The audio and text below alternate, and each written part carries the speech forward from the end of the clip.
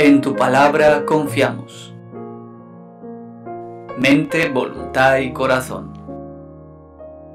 Evangelio y homilía del día.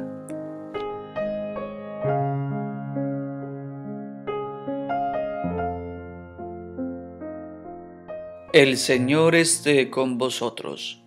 Lectura del Santo Evangelio según San Lucas. En aquel tiempo dijo Jesús a sus discípulos, Tened ceñida la cintura y encendidas las lámparas. Vosotros estad como los que aguardan a que su Señor vuelva de la boda para abrirle apenas venga y llame. Dichosos los criados a quienes el Señor al llegar los encuentre en vela. Os aseguro que se ceñirá, los hará sentar a la mesa y los irá sirviendo.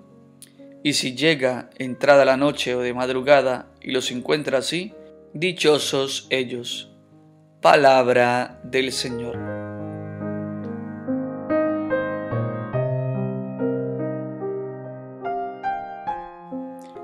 ¿Cómo quieres escuchar con tanto ruido? Podríamos definir esta reflexión hoy. No te quejes, querido amigo, querido amiga, diciendo que Dios te ha abandonado o que no te escucha. Él ha llamado a tu puerta muchas veces y has sido tú quien no ha prestado atención. No eres quien para obligarle a Dios a gritar. Su llamada es suave y silenciosa, pero tú tienes la aspiradora funcionando, la lavadora centrifugando, la televisión a todo volumen, y por si fuera poco, no paras de cantar a gritos. ¿Cómo quieres escucharlo? El Señor nos dice hoy, vosotros estad como los hombres que aguardan a que su Señor vuelva de la boda para abrirle apenas venga y llame. No pareces alguien que esté esperando a alguien, más bien pareces uno que está muy ocupado en vivir a todo tren. ¿A que sí? ¿Cómo vas a escuchar a Dios así, querido hermano, querida hermana? ¿Y aún te quejarás de que no te escucha Él?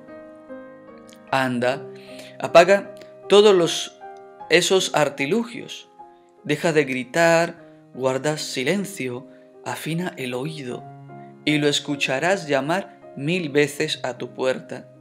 En el sol que sale, en el vecino que te saluda, en el fracaso inesperado, en la enfermedad que te impide moverte, en el buen amigo, en la familia, en el ser querido que ha marchado al cielo. ¿Ves? Ahora cuántas visitas recibes de Dios.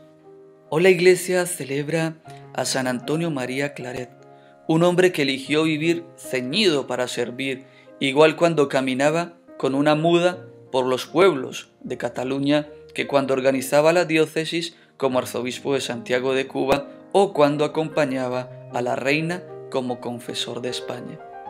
Vivir sirviendo, dispuesto a hacer la voluntad de Dios y no la propia, no depende del trabajo, el lugar o el momento que nos toque vivir. Nos lo jugamos más en los cómo que en los qués. Y esto lo traduzcamos, como lo traduzcamos, sabia felicidad a dicha, a bienaventuranza. Feliz día.